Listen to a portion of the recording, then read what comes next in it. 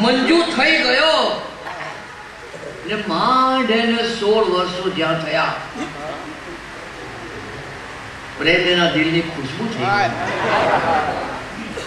માંડ એને સોળ વર્ષો જ્યાં થયા પ્રેમ એના દિલની ખુશ્બુ થઈ ગયો. ને કેટલો મંજુનો જાદુ થઈ ગયો કે છોકરો હરેક મજનુ થઈ ગયો. કે કેટલો મંજુનો જાદુ થઈ ગયો કે છોકરો હરેક મજનુ થઈ ગયો. ને પોઈઝન એકે પીધું, પણ ના મળ્યો. પોઈઝન એકે પીધું, પણ ના મળ્યો ને બીજો ઘરમાં સાધુ થઈ ગયો. કે પોઈઝન એકે પીધું, પણ ના મળ્યો ને બીજો ઘરમાં જ સાધુ. હવે મંજુ ગામમાં હોય તો કેવું થાય ને ગામની બહાર જાય તો? શું થાય? કે ચાર દી માસીને ત્યાં મંજુ ગઈ. ગામમાં જાણે કે કરફ્યુ થઈ ગયો. કે માસીને ત્યાં મંજુ ગઈ. ગામમાં જાણે કે કરફ્યુ થઈ ગયો. અને સહેજ ઘરની બહાર મંજુ નીકળી. તો પવન અત્તરનું પૂમડું થઈ ગયું. કે સહેજ ઘરની બહાર મંજુ નીકળી. તો પવન અત્તરનું કુમરું થઈ ગયો ને નામ મંજુનું હતું બસ એટલું. પ્રેમ સુંદરતાનું ઝરણું થઈ પણ પછી કોઈ તો પડાવી જાય ને.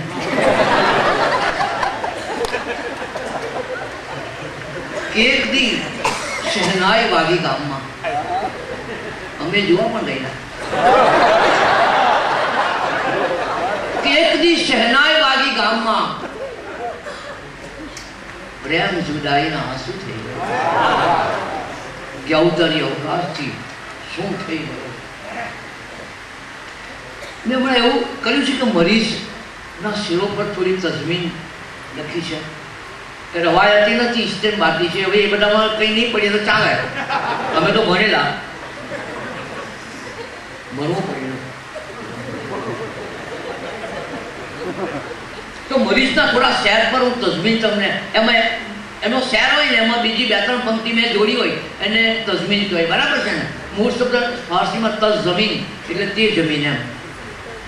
તો આ થોડીક તજમીન તમને આજે શોભિતભાઈ આનો ઉલ્લેખ કરેલો આ શહેરમાં એવું કે ઘણા વર્ષો પછી આવ્યા છવા એનો પુરાવો છે. મરીઝનો શેર છે. કે ઘણા વર્ષો પછી આવ્યા છવા એનો પુરાવો છે જે મહેંદી હાથને પગ પર હતી, તે કેસ પર લાગી હવે જો એની પર તજમીન કરી છે કે સમયના માર્ગમાં શું ધૂપ છાયાની અસર લાગી? સમયના માર્ગમાં શું ધૂપ છાયાની અસર લાગી? તમારા મસ્તએ સૌંદર્યને કોની નજર લાગી? તમારા મસ્તએ સૌંદર્યને કોની નજર લાગી? હું તમને જોઉં છું. શંકા મને મારી ઉપર લાગી. જે મેં હાથ હાથને પગ પર હતી તે કેસ પર લાગી. કે ડંખે છે, દિલને કેવી એક અક્ષર કહ્યા વિના. મરી તો બીજો તે છે. કે ડંખે છે, દિલને કેવી એક અક્ષર કહ્યા વિના. રહી જાય છે જે વાત સમય પર કહ્યા વિના. કે પાછા ફરે છે શબ્દ અધર પર કહ્યા વિના. કે પાછા ફરે છે શબ્દ અધર પર કહ્યા વિના, રગ રગ તૂટે છે આપણું અંતર કહ્યા વિના, ને એ વાત સાંભળે છે જીવનભર કહ્યા વિના. રહી જાય છે જે વાત સમય પર કહ્યા આવી તસવીરો પણ તૈયાર કરી અને એક ઉલ્લેખ બેન ખૂબ સંચાલન કરતા હતા સરસથી બેને કર્યો, મોદી હું પતંગ કાવ્યું, પણ લખું છું એમ. કહ્યું ને મેં બહુ લખ્યા પતંગ કાવ્ય અત્યારે. એ પ્રગટ પણ હવે થશે. તો એમાંનું એક બે પતંગ કાવ્યો પણ તમને હું વાંચવા માંગુ છું, પતંગ કાવ્યો. જાણે આમાં પતંગ બોલે છે કે હરેક અંગ તૂટે કપાયા પછી. ગઝલનો મતલબ છે કે હરેક અંગ તૂટે કપાયા પછી બધા આવી લૂટે કપાયા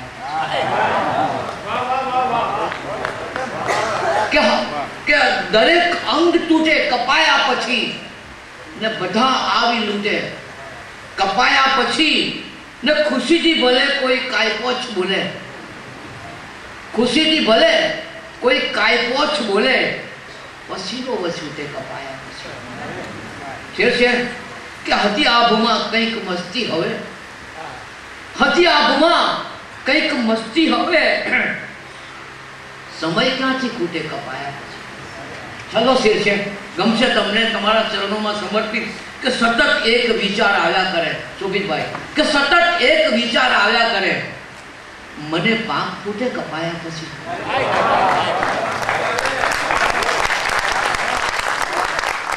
સતત એક વિચાર આવ્યા કરે, મને પાપ ફૂટે કપાયા પછી. બીજો છે, અંતિમ પછી બેસી જઈશ. બીજું પતંગ કાવ્ય છે. કે ધરતીની ધૂળ ચપટી લાવ્યો. સુરતી બોલીમાં છે કે ધરતીની ધૂળ ચપટી લાવ્યો. વાદળ જો ગરમથી લાવ્યો. કે ધરતીની ધૂળ ચપટી લાવ્યો. વાદળ જો ગરમથી લાવ્યો. અને પતંગના નામ આવે છે આમાં કે કાલે ઢાંઢું ઠીઠી કાયપા. કાલે ઢાંઢું ઠીઠી લાવ્યો. તું આજે હું જપતી લાવ્યો. શેર છે ગમશે કે મારું દિલ ધક કરવાનો? મારું દિલ ધક કરવાનો? ખુદ્દી પાછો લપટી લાવ્યો. કે મારું દિલ ધગધગ કરવાનો? ખુદ્દી પાછું પાછી લપટી લાવ્યો? ને હંતાવાની જગ્યા કાં છે? હંતાવાની જગ્યા કાં છે? ખુરશીમાં જો કપટી લાવ્યો. ને ધરતીની ધૂળ ચપટી લાવ્યો. વાદળ જો ગરમ ઉઘાડી આપ્યા. એ ભૂલી ગયા કે એમને ઘેર પણ જવાનું છે. અને ફુદ્દી, લંગસ્યું, આ બધું એમણે જુદા અર્થમાં જે બતાવ્યું આપણને. કેટલાક લોકોને એવી ટેવ હોય છે, એક જ દોરી ઉપર ત્રણ ચાર પતંગ ચગાવતા હોય. આવા લોકો જો કે આર્ટિસ્ટ તરીકે ઓળખાય છે. પણ મિત્રો, મારે એક એવા કવિનો પરિચય આપવો છે, જેને તમે છેલ્લા કેટલાક કલાકથી બહુ સજ્જ રીતે સાંભળી રહ્યા છો. આમ, અમે બે જવાબદાર વ્યક્તિઓ, એટલે બે જવાબદાર નહીં, પણ બે જવાબદાર. એ મારા મોટા ભાઈ છે. તમે અંકિત ત્રિવેદીને સાંભળો છો? એના મૂળમાં શોભિત દેસાઈ છે. મને સંચાલક તરીકે પહેલ વહેલો રજૂ કરનાર જો કોઈ છત્રીસની છાતીવાળો ગઝલકાર હોય, તો એ શોભિત દેસાઈ છે. મિત્રો, એના વિશે હું ઘણું બધું બોલી શકું છું. મારા મોટા ભાઈ છે, હું એમની અદબ રાખું છું. પણ મારે એટલું જ કહેવું છે એ બોલે છે ત્યારે હું મને સાંભળું છું. એ શોભિત છે. હું અંકિત છું. અમારા માત્ર પ્રાસ નથી મળતા. શ્વાસ પણ ભલે છે. હું કવિ શોભિત દેસાઈને ગઝલ પાઠ કરવાનું વિનંતી કરું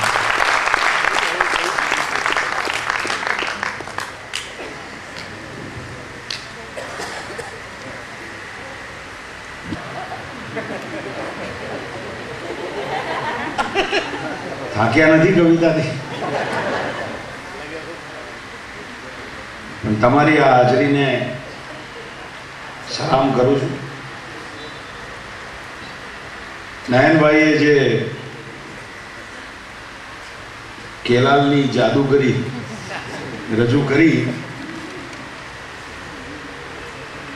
એ જ આગળ ચલાવવાની ઈચ્છા થાય, મને પણ. પણ મારે આજે કંઈક ફિલ્મ જેવી વાત રજૂ કરવી છે તમારી સાથે. કારણ કે એક અંકિત ટોપ, ટોપનો, હ્યુમરનો સીન આવે. પછી અચાનક સમર્થ ડાયરેક્ટર કેવી રીતે તમારી આંખમાં, આંખમાંથી આંસુ પડાવે છે. એવી કંઈ વાત કરવી છે મારે? એટલે કે મારે કંઈ તમને સિરિયસ નથી કરવાના. ડોન્ટ વરી પણ વલસાડની આ સરસ મેદની સમક્ષ હું એટલી બધી વખત હાજર રહ્યો છું, એટલા બધા સ્વરૂપે હાજર રહ્યો છું. એટલા, એટલી બધી ગઝલો સંભળાવવાની, મને મારી પોતાની ગઝલો સંભળાવવાની મજા આવી છે.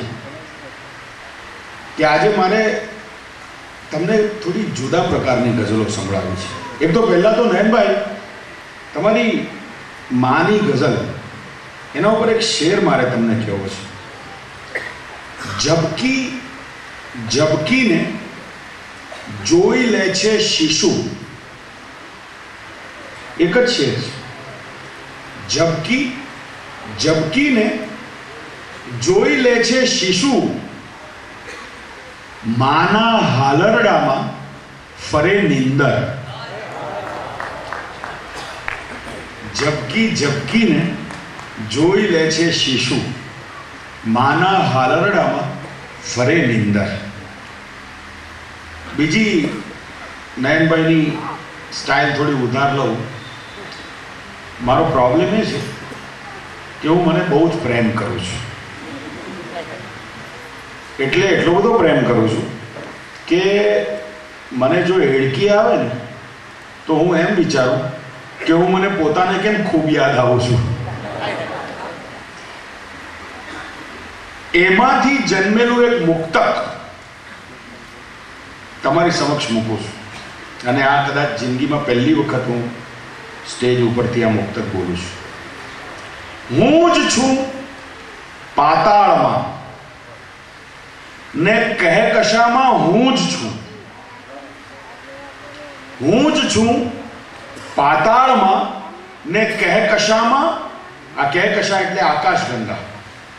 હું જ છું પાતાળમાં ને કહે કશામાં હું જ છું, ભાન પણ છું હું જ, નવરંગી નશામાં હું જ છું. હું જ છું પાતાળમાં ને કહે કશામાં હું જ છું. ભાન પણ છું હું જ. નવરંગી નશામાં હું જ છું. હું છું એવા ભ્રમને હું ભૂંસી રહ્યો છું ક્યારનો. હું છું એવા ભ્રમને હું ભૂંસી રહ્યો છું ક્યારનો. હું નથી એ નામની અંતિમ દશામાં હું જ છું. ભાઈ, મારું છે ને કે લગભગ દસેક વર્ષ આયુષ્ય તમે વધારી આપ્યું. અને તમે બધાએ આ શેરને દાદ આપી. કારણ કે કોઈ જગ્યાએ ક્લિક થાય એવી વાત જ નથી. એવા શેરને તમે દાદ આપી, એવા પુસ્તકને દાદ આપી, મારું આયુષ્ય દસ વર્ષ વધારી હું જ છું પાતાળમાં ને કઈ કશામાં હું જ છું. બાણ પણ છું, હું જ, નવરંગી નશામાં હું જ છું. હું છું એવા ભ્રમને, હું ભૂસી રહ્યો છું ક્યારનો? હું નથી. એ નામની અંતિમ દશામાં હું જ છું. તો ક્યાં આવીને ઊભા છીએ? દોસ્તો, ક્યાં આવીને ઊભા છીએ આપણે અત્યારે? વીજળી પડી તો પાયાના પથ્થરને ખાઈ ગઈ. વીજળી પડી તો પાયાના પથ્થરને ખાઈ ગઈ. સૌથી પ્રથમ એ કક્કાના અક્ષરને ખાઈ ગઈ. વીજળી પડી આ મીડિયા આ આ ભાષા, રાષ્ટ્રભાષા અને આ અંગ્રેજીના બધાની વીજળી પડી તો પાયાના પથ્થરને ખાઈ ગઈ. સૌથી પ્રથમ એ કક્કાના અક્ષરને ખાઈ ગઈ. શેર દેખના સાહેબ, કે વધતો કિનારો જોયા કરે છે વકાસી મોં. વધતો કિનારો જોયા કરે છે વકાસી મોં વધતો કિનારો જોયા કરે છે વકાસી મોં નાદાન માછલીઓ સમંદરને ખાઈ ગઈ વધતો કિનારો જોયા કરે છે વકાસી મોં નાદાન માછલીઓ समंदर ने खाई गई भाई शेर देखना साहब शेर देखना કે વિશ્રામ પોલો પહોંચી ગયો જ્યાં વિચારમાં. વિશ્રામ પોલો પહોંચી ગયો જ્યાં વિચારમાં. અડ્ડો જમાવ્યો આળસે, લશ્કરને ખાઈ ગયો વિશ્રામ પોલો પહોંચી ગયો જ્યાં વિચારમાં. અડ્ડો જમાવ્યો આળસે, લશ્કરને ખાઈ ગઈ. અને વપરાશમાં ન લેવાયું લાંબા વખત સુધી. વપરાશમાં ન લેવાયું લાંબા વખત સુધી જીવાત ઝીણી આખા એ બખ્તરને ખાઈ ગઈ. વપરાશમાં ન લેવાયું લાંબા વખત સુધી જીવાત ઝીણી આખા એ બખ્તરને ખાઈ ગઈ અને સાહેબ શેર પર તમારી બધાનું ધ્યાન ચાહું છું અને વાત પહોંચે તો તમારી બધાની દાદ ચાહું છું. મારી વાત કરી રહ્યો છું આ શેરમાં. કે વપરાશમાં ન લેવાયું લાંબા વખત સુધી જીવાત ઝીણી આખાએ બખ્તરને ખાઈ ગઈ અને ઉત્તમ લખે છે, પોતે ના ભ્રમમાં જ એ મર્યો. ઉત્તમ લખે છે, પોતે ના ભ્રમમાં જ એ મર્યો. જુઠ્ઠી પ્રશસ્તિ છેવટે શાયરને ખાઈ ગઈ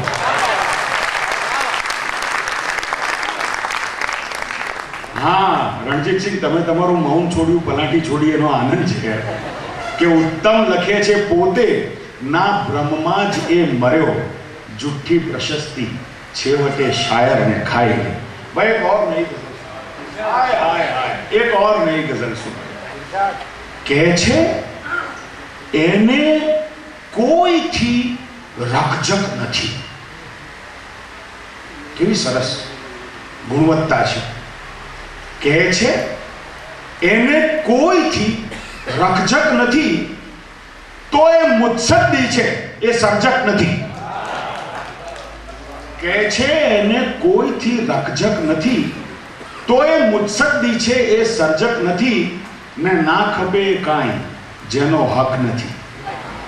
ના ખપે કાંઈ જેનો હક નથી, છું હું શાયર, હું કોઈ યાચક નથી.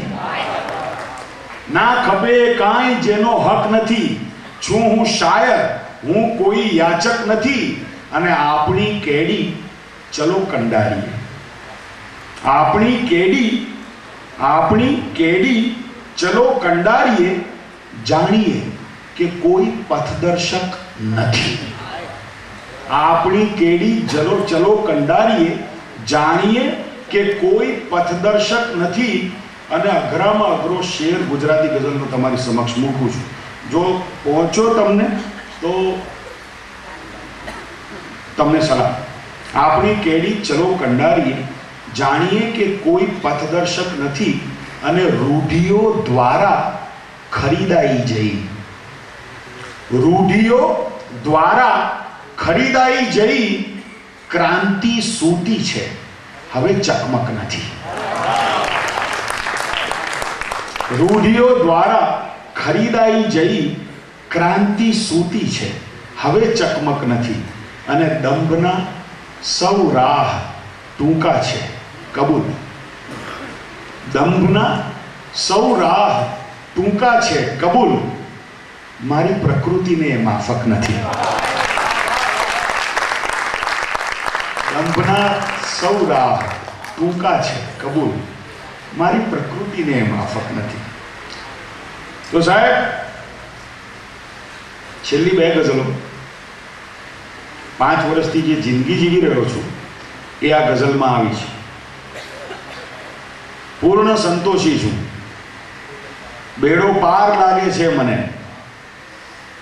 પૂર્ણ સંતોષી છું, પૂર્ણ સંતોષી છું.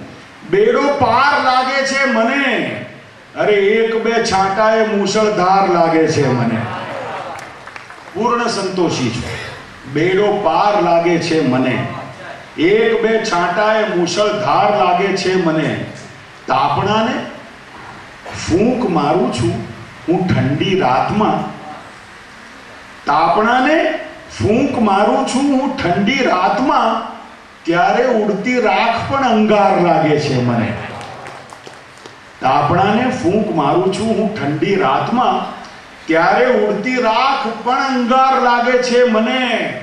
શેર સુન દેખના સાહેબ, કે કેવી નોખી આપે છે લજ્જત. આ અણિયાળી મહેક.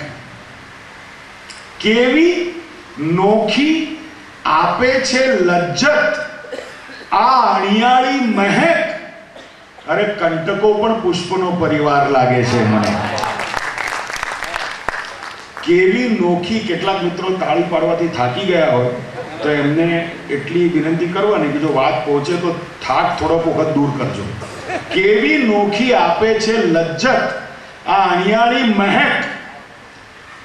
કંટકો પણ પુષ્પનો પરિવાર લાગે છે મને ને નયન દેસાઈ, શું હવે માગું વધારે? કોઈ શું દેશે મને? શું હવે માગું વધારે? કોઈ શું દેશે મને? આ સતત વહેતી હવા આધાર લાગે છે. શું હવે માગું વધારે? કોઈ શું દેશે મને? આ સતત વહેતી હવા આધાર લાગે છે મને. અને સાહેબ, મંદિરની દુકાન તો બંધ જ કરી દીધી છે. કોઈ રસ જ નથી પડતો પથ્થરોમાં. કોઈ શ્રદ્ધા જ આખી આમ ઉઠી ગઈ છે. એ વાતમાંથી જ આખી વાત જ મરી ગઈ છે મનમાંથી. માત્ર જીવંત માણસોમાં મને ઈશ્વર મળે છે. જ્યાં સુધી તમે મને સાંભળો અને તમે મને બિરદાવો, ત્યાં સુધી તમે મારા ઈશ્વર છો. અને જ્યાં સુધી હું તમારા હૃદય સુધી પહોંચી શકું, ત્યાં સુધી હું તમારો ઈશ્વર છું. શેર દેખના સાહેબ અભી શેર દેખના.